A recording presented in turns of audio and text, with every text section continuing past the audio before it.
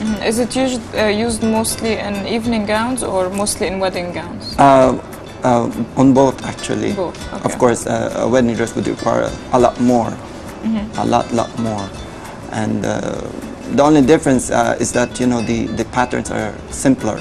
Right. Uh, we're down to the basic, flat embroidery, nothing complicated, but it has to be very shiny.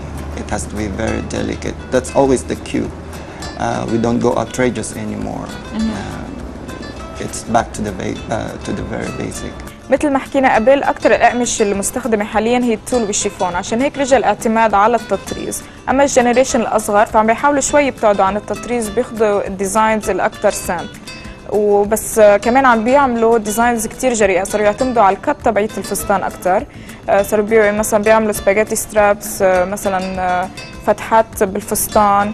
آه، فهي الإشي اللي بيعتمدوا عليه. ولما سألته عن استخدام الريش اللي اجى كتير موضة تقريبا بآخر سنة ال 2000 قال لي إنه ما كتير دائما بتزبط. هو بيفضل طبعا يستخدم الكريستال اللي هو دائما يعني بيعتبر من الإشياء اللي كتير حلوة بالتطريز. آه، بيستخدم أكثر بال evening بال sorry بالتياب العرس بس كمان في استخداماته بالتياب السهرة بس يمكن بطريقة أبسط و ومش كتير مكلفة مثل تبعيه فستان العرس وهلأ رح نشوف fashion show صغير ل 2001 collection برني إنه بيسموا التطريز crushed ice لأنه ببين كأنه هيك قطع أزاز صغيرة هو آه، ليعملوا هالتطريز بهالشكل.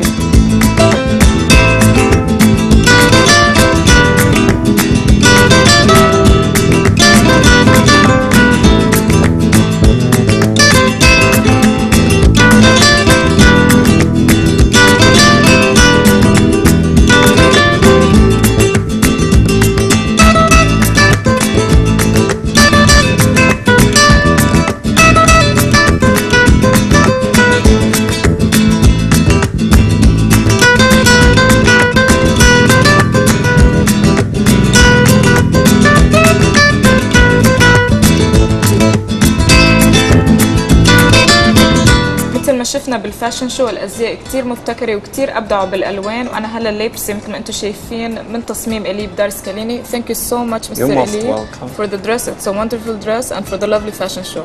You're welcome. thank you نشكركم مشاهدينا على حسن متابعتكم لنا نتمنى إنه تضلكم معنا حتى نرجيكم أحدث خطوط الموضة. كما عودناكم في فقرة الديكور سوف نقدم لكم الأفكار الجديدة ونستمع إلى آراء الخبراء في مجال التصميم الداخلي.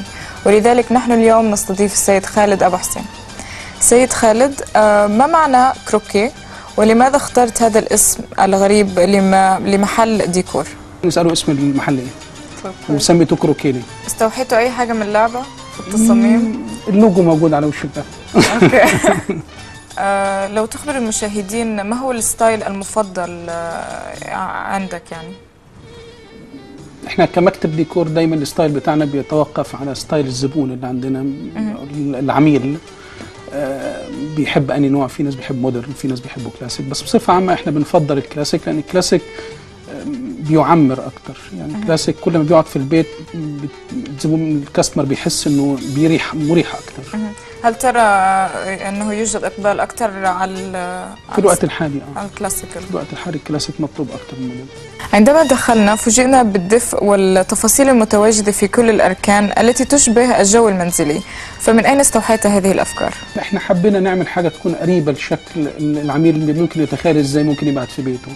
فعشان كده ابتدينا نصمم المكان بشكل يكون مريح كبيت حد عايش فيه.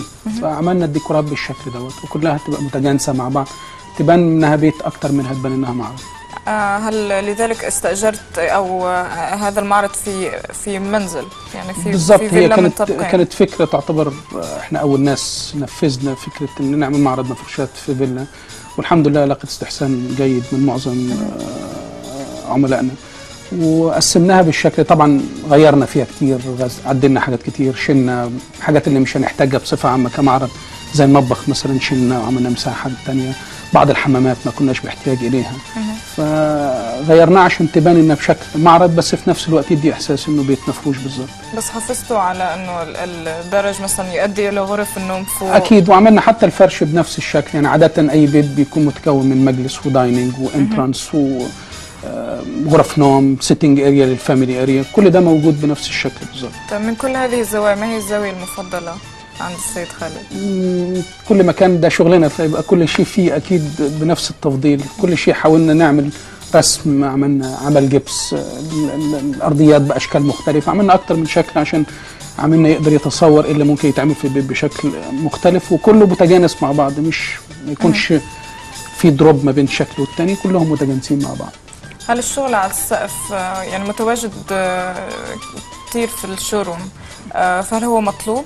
لحد كبير أكيد لأن الشغل في السقف بيعكس بشكل كبير جدا جو المحيط في المكان يعني ما ينفعش تعملي تحت كل كلاسيكيات بشكل كامل وتعملي السقف يكون modern فلازم يكون في تناسق بين الاثنين مع بعض هل يتماشى الخشب مع ال style الكلاسيكي أكثر ربما من الحديد؟ مش بالضرورة كل شيء بيوظف في مكانه. ممكن جدا الحديد يكون موصف موظف بطريقة انها تكون ماشية مع الكلاسيك طبعا الخشب بصفة عامة خشب يعني كلاسيك معتمد اعتماد كبير على الخشبيات بس برضه الحديد ممكن يكون داخل معاه بشكل يدي كلاسيكية برضه مش بالضرورة. آه، رأيت أنه يوجد تنوع كبير في التحف الموجودة آه، فيعني آه، ما هي أهمية التحف آه، لدى تصاميمكم؟ بالضرورة ما فيش مكان بيدي شكل النهائي بتاعه بدون التاتشات الأخيرة بدون ال- الإكسسوارات وال- والتحف لأن أي مكان مهما كان على درجة عالية وما حطيتلوش إكسسوارات الملائمه له ما بيديش ما بيديش الشكل النهائي يعني بتهتموا مثلا بالساعة زي ما بتهتموا مثلا بالصوفة المفروض. في بعض الأوقات بيبقى الإكسسوارات عليها عامل أهم كتير جدا من القطعة الرئيسية لأن القطعة الرئيسية موجودة بس الإكسسوارات هي اللي بتكمل الجو بشكل عام طيب لما يعني يحضر العميل آه، عندك وأي ست بيت مثلا بدها تفرش بيتها آه، ما هي الخطوات التي آه، تتبعها ل- لتفهم آه، ماذا تريد؟ عادة إحنا بنعمل دايما آه، تصميم للبيت بشكل عام إيه اللي هيتحط فيه وبالشكل إزاي توزيع الفرش كيف بيكون وبعد كده بنبتدي نخش في تفاصيل اللون المفضل عندهم لأن من من من من عميل لعميل اللون بيختلف تماما. فممكن على حسب العميل بيحب لون معين.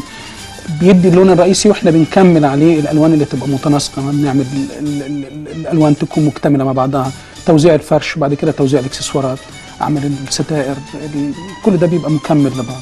كيف تساعد المرأة على التخيل تصميمك؟ بنحاول نعمل رسومات على قد الإمكان لأن أوقات كتير جدا الحاجة اللي بنبقى متفقين عليها بعد ما بتخلص بيلاقوها مش زي ما كان العميل متخيل. فبنحاول على قد ما نقدر إحنا نوصل دوت بنوري عينة للقماش المستخدم لون الخشب المستخدم. designs بنعمل من أكتر من رسومات توضيحية عشان يدي الشكل النهائي. نستخدم طبعا دلوقتي الكمبيوتر بشكل عالي جدا زي ال 3 D walks وبنستخدم حاجات بحيث إنه يتخيل إزاي البيت هيكون أقرب ما يكون لل... لل... لل... لبعد ما بيخلص البيت. آه، سيد خالد بنحب نشكرك آه، على استضافتك لينا. آه، مشاهدينا إحنا هناخدكم في جولة في عشان نوريكم ملامح المعرض المنزل زي ما قال. أستاذ خالد